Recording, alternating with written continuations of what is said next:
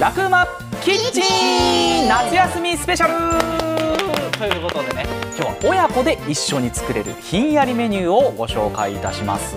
さあ教えてくれるのはきのこ RSK のオーナー後藤正明さんです。よろしくお願いします。今日もよろしくお願いします。はいよろしくお願いします。さあそしてね一緒に料理をしてくれるのがこの二人。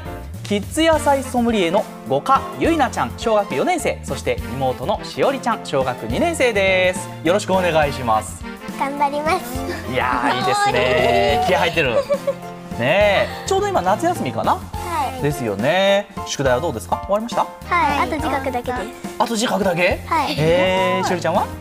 えっと、うん。あといつもやる音読だけ残ってそうかすごいね。まだ8月入ったばっかりですけどね。はい。今日はじゃあもう料理にね集中してはい頑張れるということでよろしくお願いします。お願いします。さあでは早速今日作るメニューです。こちら。夏のパンナコッタそして自家製レモネード2品作りますよ。涼しげですね。ねえ。さあでは早速作っていきましょう。まずはレモネードからですね。はい。レモネードをね元になるレモンシロップから作っていきます。こちら。レモンのね皮と綿を取りまして輪切りにスライスしたものですさあここにねいろいろと合わせていきます。じゃあゆいなちゃんやってくれるかな？あはい。はい。このねレモンにまずは氷砂糖。あじゃあしおりちゃんも一緒にやろうか。ねはい。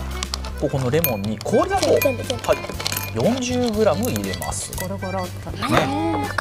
そして、うん、そうそう全部入れちゃおうね。はい。蜂蜜。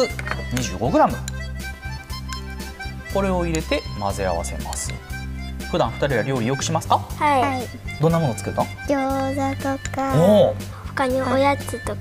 おやつも作るんだ。はすごいな餃子。なかなかね手の込んだものを作りますけれど、はい、さあ蜂蜜を混ぜ合わせたらこれを後藤さん一晩寝かせておくわけですね。はい。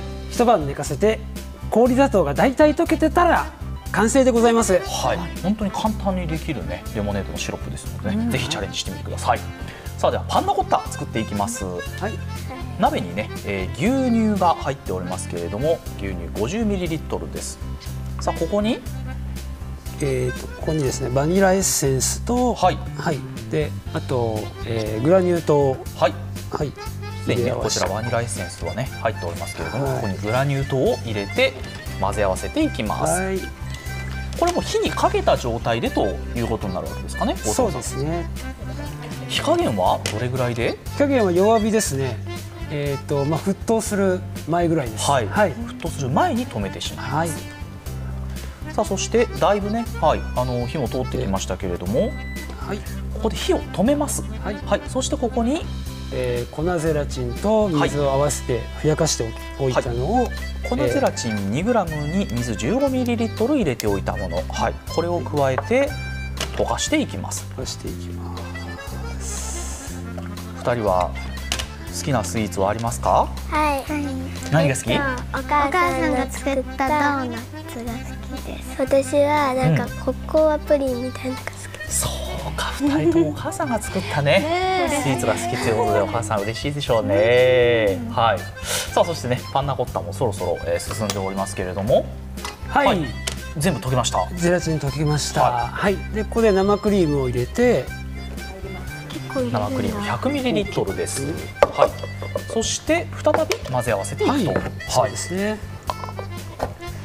でこれはもう火を止めた状態でといそうですねことになるんですよはい、これでまあ馴染んだらはい。茶こしでこしはい、はい、ます、茶こしてこしていきます。後藤さんはどんなスイーツが好きですか？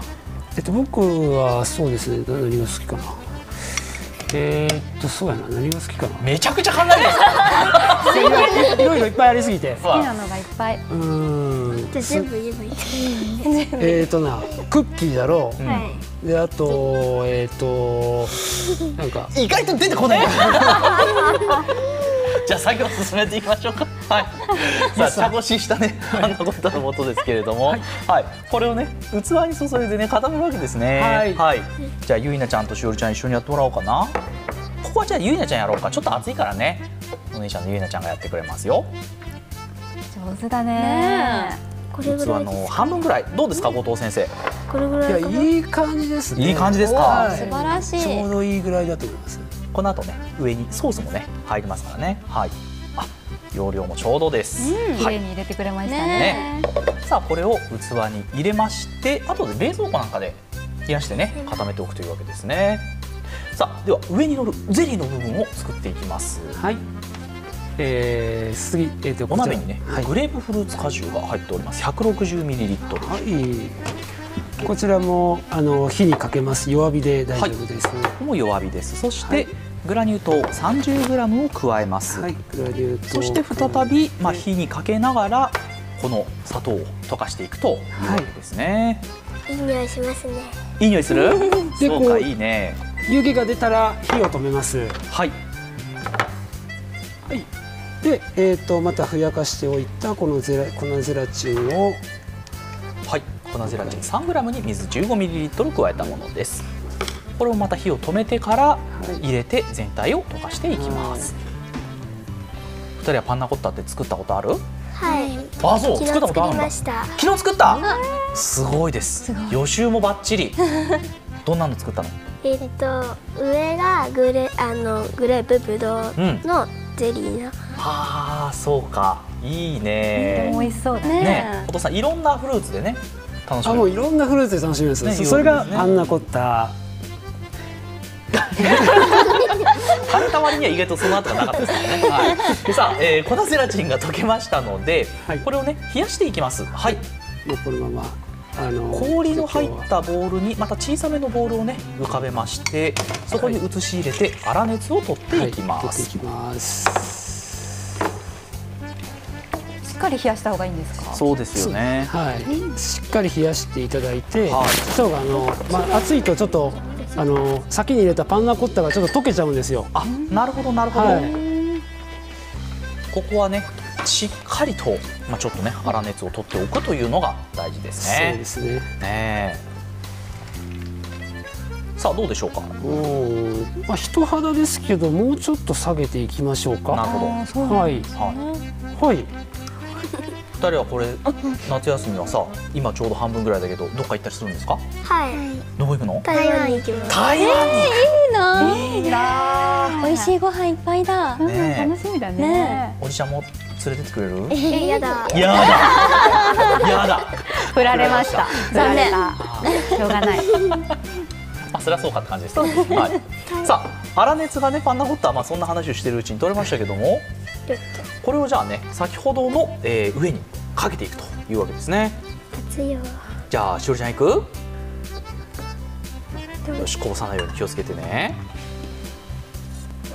お！おお上手。上手に告げました。え綺麗な色ですね。もう一つにも。綺麗なオレンジ。ね綺麗なオレンジだよね。でももう入らなはい？くないこれぐらいかな？ーそうですね。ね。素晴らしい。うん、綺麗に上手にできましたね。はい、そしてねこちらが、えー上にねえーグレープフルーツの果汁を乗せてそしてさらに冷蔵庫で冷やしたもの。だいぶねプルプルになっておりますよ。はい。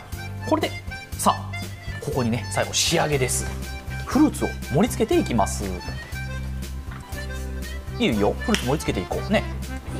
え一個だけうん。よしいっぱい盛っちゃえ。今回はい、お好みのフルーツということでオレンジそしてピンクグレープフルーツえ、二人で一緒に盛り付けを。ブルーベリーもね用意しておりますどうですか？盛り付け後藤さんから見ていや可愛い感じにできてます。これは。ねえ、はい。ここは2人とも真剣です仕上げのね部分ですからねなんか順番に乗せてておしゃれ。本当だですね。色にも気を使ってうん。素敵。もう予習済みだもんね。はい。ね。さあ姉妹で仲良く盛り付けまして、はい。そして最後じゃあグレー、えーブルーベリーいこうか。ね。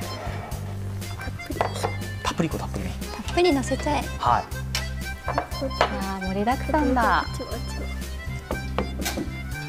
ょ OK いいうん。ね。。じゃあ最後はここにね。はい彩りもハーブも乗っけちゃいましょうかね。うん。はい OK です。ということでね簡単にできましたよ。夏のパンナコッタです。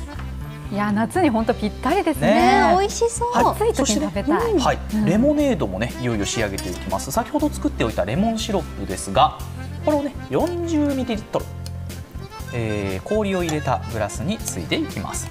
だいたい後藤さん大さじ2杯ぐらいですかねそうですね大さじ2杯とちょっとぐらいでよはい。ろしいんじゃないでしょうか。入れましてここに冷えたお水。140ml を注げば。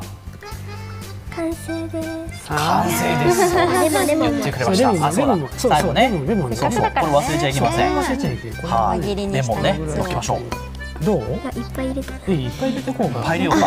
もういっぱい入れてこう。ちょっと濃くなりすぎるんじゃないかってぐらい後藤さん。いつも乗ってましたけど。このミントがはい、最後ミントをね乗せれば、はいはい爽やかこれもね本当に簡単にできますよ。はい、レモネードの完成です。ということで今日はこちらの2品作りました。は最高ですね。うわあ涼やかい、ではお二人どうぞ。はい。